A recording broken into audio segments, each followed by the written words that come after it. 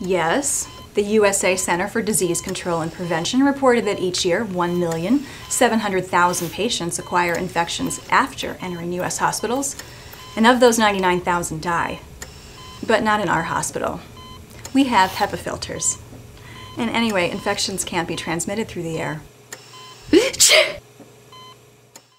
On June 24, 2009, ASHRAE's Board of Directors issued a position document indicating that the AC system distributes viruses. This has been confirmed by medical studies, including a recent one for norovirus. Hospitals feel protected by the use of HEPA filters that block up to 99.97% of particulates.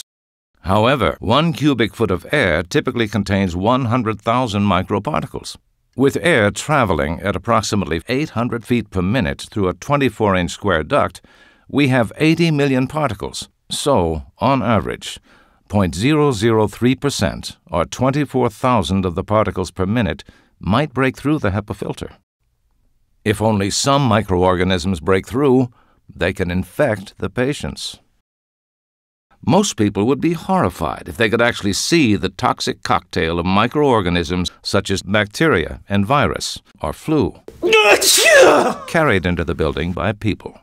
Once in the air, the microbes are distributed throughout the building via the AC ducts and pass easily through the primary filters and cause mild flu or more serious illnesses. By positioning Steril Aire's high output UVC emitters at the coil, one can eliminate more than 99% of all virus, bacteria, and mold traveling in the air. Sterile Air also eliminates the mold and biofilm growing on the coil and therefore prevents mycotoxins and spores from reproducing and spreading sickness and headaches. The result is superior IAQ with a reduction in staff sickness and absenteeism often by as much as 25 to 50 percent, and an incredible reduction in hospital acquired infections. One neonatal peer reviewed study shows that after an investment of only $30,000, there was a drop in infections of 40 percent.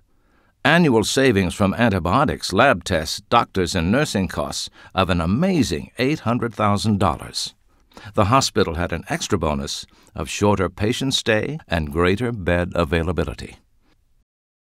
Sterile Zone removes airborne contaminants, and the portable RIDS unit decontaminates infected areas. The ceiling mounted units help reduce contamination in ORs, ICUs, isolation wards, laboratories, and clean rooms. Take the next step and achieve real and proven sustainability, lower costs, and increase your profits. Most importantly, deliver great IAQ. Call your local Steril Aire distributor or contact us via phone, email, or the web.